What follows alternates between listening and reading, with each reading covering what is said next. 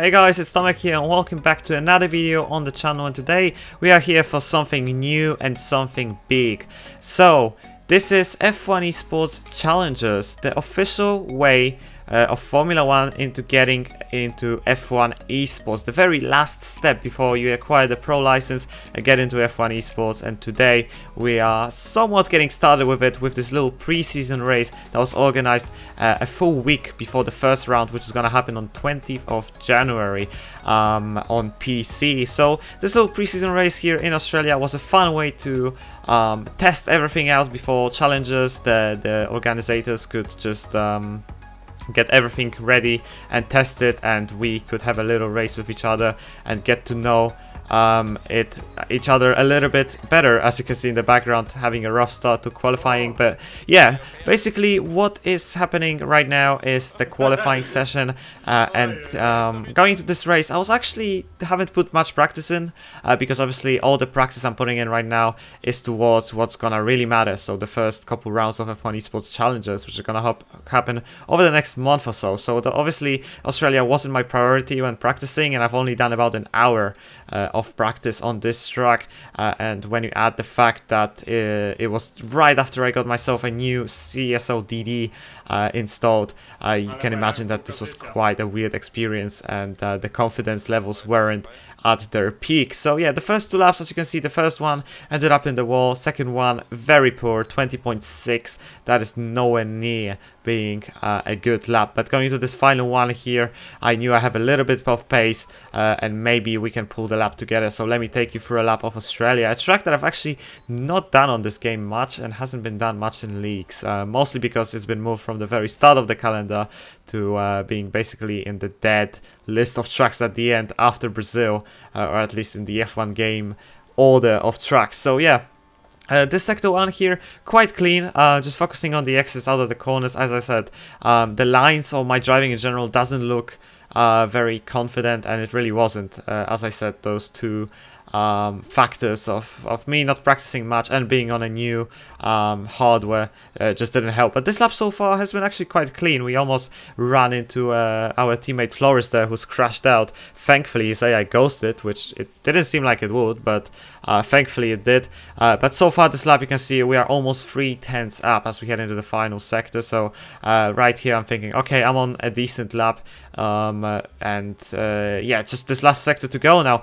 Um, so as I said, this is just a fun race to kind of test ourselves for uh, F1 Esports Challengers and I decided to make a video on it uh, just to get you guys maybe a bit more into details with, with what F1 Esports Challengers is gonna be like as well. By coming across the line almost half a second up and we do a 20.1 which puts us on provisional pole and that turns into actual pole for the race as we outqualify uh, our um, countryman Piotr Stachules, who I'm actually working with for this F1 Esports Challengers, so you're gonna hear him in the background talking in voice chat. Um, yeah, basically we've been good friends for a while now, and uh, we decided that it would only make sense to work together for this F1 Esports Challengers season. So um, yeah, we are very happy with the result. However, going here into the race, as you can see on the top left, uh, from P3 downwards, we have people on the medium tires, and that was caused by a session restart, and we weren't forced to start on the exact same tires like we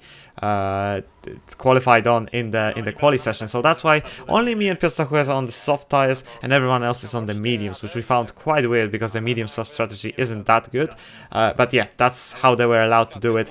Uh, and let's now move on to the race itself uh, as we line up on the grid and prepare for the race start. So here we go, the Challengers preseason race, it's 5 red lights and away we go and we get a decent reaction time. However uh, the second phase of the start was just much better for Piotr and uh, here going to the one. I'm not gonna battle him uh, because our focus has to be on pulling away from these medium runners. We had no idea of what the medium pace is gonna be like so we knew that uh, for the first couple laps we definitely have to push uh, because we also have the benefit of starting on fresh soft tires rather than um, used ones from quali like we would have uh, normally had to. So yeah here this first first lap we are pushing so super super hard and you can see already after one sector we pull one second to Wilson behind uh, oh sorry that's actually Kedden now uh, on the medium. So the, the the amount of grip that we have compared to the medium runners is amazing and uh, just like we expected the medium tires aren't working now and they are losing tons and tons of time,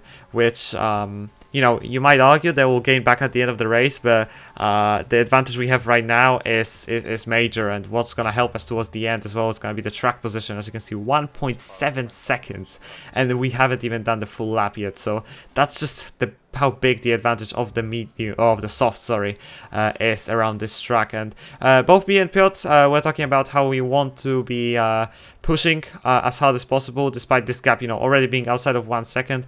Uh, we try to push very hard and that's why you can see us using our batteries a little bit there and there and just putting on a great pace at the moment. Piotr is about six tenths in front which is comfortable. There is no risk of him pulling away from me whilst pulling away from the medium runners and end of lap 3 you can see 5 seconds to the cars behind so the advantage we have on the soft is amazing and it was around this point where our engineers were starting to kind of get sure that we nailed the strategy and the medium soft is just not gonna work. What didn't help the guys behind as well was they were getting involved in lots of incidents, they were battling very heavily and that's why the gap is at 9 seconds come the end of lap 5. But as you can see here, end of lap 5, we start thinking about the move on Piotr again. Um, as the stint went on, uh, I found myself more and more confident with the car, which was gonna be, uh, you know, which was obviously gonna happen because with each lap I'm learning something new about this track. This is what happens when you don't practice much. And coming out of this final corner here, I realized that maybe now is a good time to get ahead and try to see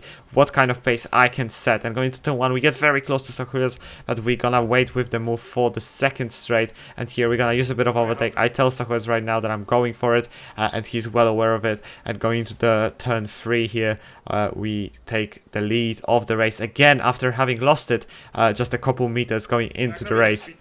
So yeah, we now lead the Australian Grand Prix and the gap behind uh, to the medium runners has went up to almost 11 seconds. Uh, and in the meantime, Sahul has picked up a 3 second penalty as well. So we are on a very easy path to, to winning this race, but um, obviously we still have to remain focused for the second stint as we now dive into the pits at the end of lap 7 uh, from these fresh softs. They held up very well, but eventually you gotta put on the mediums and we felt like lap 7 would be the perfect lap to do so and that's why Piotr also pits on that lap. And uh, yeah, obviously we're gonna rejoin in free in clean air. There's no way anyone undercuts us. We had a huge gap and uh, we rejoin in the net lead with just one medium run in front of us.